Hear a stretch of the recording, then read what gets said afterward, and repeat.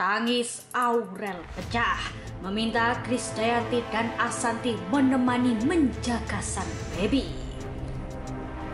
Sang Mimi sampai rela potong bagian tubuhnya yang berharga demi sang cucu. Raul Lemos ikut begini.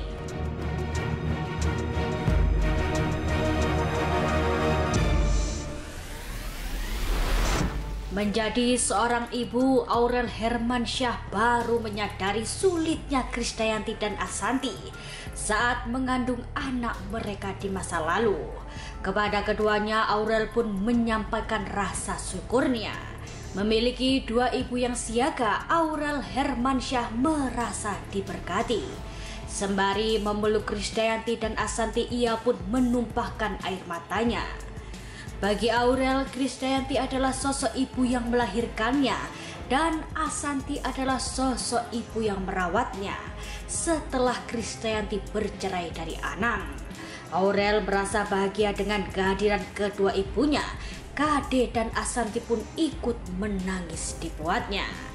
Jelang kelahiran baby A sebagai orang tua yang di usia muda, Atta Halilintar pun rupanya meminta tolong kepada Krisdayanti untuk ikut merawat sang cucu.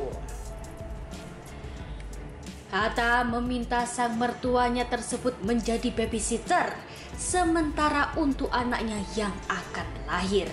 Siapa sangka ternyata Krisdayanti menyambut baik niat Atta untuk menjadikannya babysitter anak Aurel Hermansyah. Lucunya bak anak kecil, Aurel merengek meminta bantuan sang ibu untuk mengurusi anaknya kelak sebagai babysitter.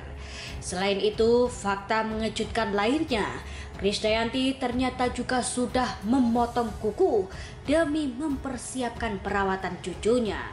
Aurel Hermansyah juga sangat bangga dengan Krisdayanti yang bersedia menjadi babysitter anaknya di sela-sela kesibukan padat. Bahkan Aurel Hermansyah juga menyebut bahwa bayinya kelak akan dirawat oleh seorang diva.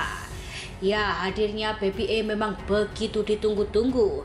Tak hanya menjadi anak pertama, Baby E juga menjadi cucu pertama Ken Halilintar dan The Hermansyah. Bakal lahir dari keluarga besar artis, popularitas Baby E pun digadang-gadang tak kalah dengan ayah bunda hingga kakek neneknya. Sementara itu, meski dulu sempat bersih tegang, Rolemos, ayah sambung Aurel pun juga ikut menunggu momen hadirnya sang cucu.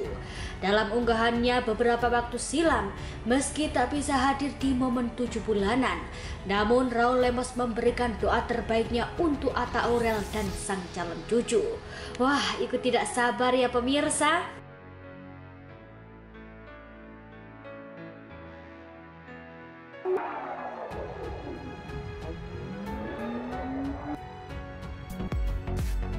Jangan lupa subscribe